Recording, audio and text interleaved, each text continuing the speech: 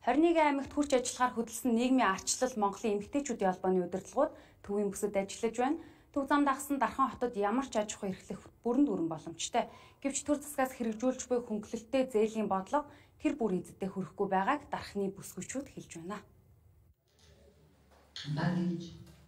Эмэгтэйчүүд хөхөө аав олон байгааг онцолж байна. Улсын хурлын эмэгтэй гишүүд гэр бүлийн тухай хуульд нэмэлт өөрчлөлт оруулж байгааг сайшаахан зэрэгцээ. Хэрэгжилтэд нь хяналт тавих нь чухал гэлээ. Эмэгтэйчүүд барьцаа хөрөнгөгүй хөнгөлөлттэй зээлд хамрагдаж чадахгүй байна. За бусад орны адил өрхийн аж ахуй, жижиг дунд бизнес эрхлэгчдийг сургалт санхүүжилт зэрэг цогц дэмжлэг бүхий төрийн бодлого өгүүлэгдэж байгааг хэллээ. Түүнчлэн залхуу хүмүүсийг халамжилж байхаар төр ажил хийж байгаа хүмүүсээ дэмжих ёстой. Гэр бүл хуулийн хүчирхээлэлтэд тэмцэхэд улиралд 90 мянган төгрөг өгдөг нь хаанаач хүрэхгүй байгааг 12 дугаар багийн дарга Алтан туяа хэлсэн юм а. Бүхэн шиг ирчүүд олон боллоо. Маш их ирчүүд ингээд ерөөсөө нөгөө нэг юу хүүхдүүдийнхээ нөгөө мөнгийг өгдөггүй асар олон одоо өрх толгоос ээж нар байна. За цөөхөн аав нар байна. Одоо үнэхээр ихнэр нь нас орсон ч юм уу юм.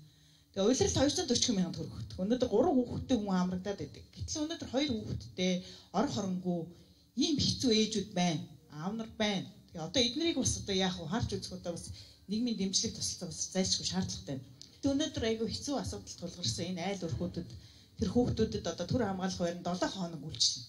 7 хоногийн дараа энэ хүүхдүүд аав энэ хүмүүсээ аав гэдэг ингэдэг нөгөө хүмүүсээ бид нар хаана аваачих вэ гэдэг асуудал аягүй тулгардаг. Тэгэхээр энэ журам юмнууд дээр бас анхаарч нэг хөглийн одоо эмгтэй гişүүд одоо аль нам нь хамаагүй тийм ээ сонгогдсон бол бид нар бас энэ нийгмийн сайн сайхны төлөө энэ үр хүүхдүүдийн төлөө гэр бүлийн өвчрхийлд өртөж байгаа энэ хүмүүсийн төлөө одоо бас сэтгэл гаргаж ажиллаж чигч хүсмээр байна. Амьдрал, бизнес бүх орлогоосоо бол өөртөө илүүчилж тий маш олон ажил арга хэмжээг бид нар хийдэг.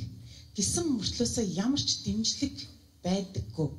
А даашаа бүр анхан шат тий маш олон төсөл хөтөлбөрүүд ингээд Архуул аймагт хэрэгждэг боловч энэ маань анхан шатны салбар зөвлөлт огт хүрдэггүй байгаа. Тэгэхээр энийг бол намын бодлогын төвшөнд ингээд оруулж өгөөч гэдэг одоо ерөнхийдөө хүсэж байна. За энэ үеэр бүгд найрамдах Солонгос улсад докторийн зэрэг хамгаалаад ирсэн мэн дамгаалan чадaltaй залуусыг төрийн албанд ажилуулах багш нарыг гадаадад магистр докторийн сургалтанд хамруулах нь чухал талаар саналаа хэллээ. Тэгвэл чадaltaй багш нар олон сайн шав төрүүлж улмаар улс орон мэдлэг боловсралтай хүний нөөцтэй болж хөгжил дэвшилт хувь нэмэр оруулах болно гэлээ.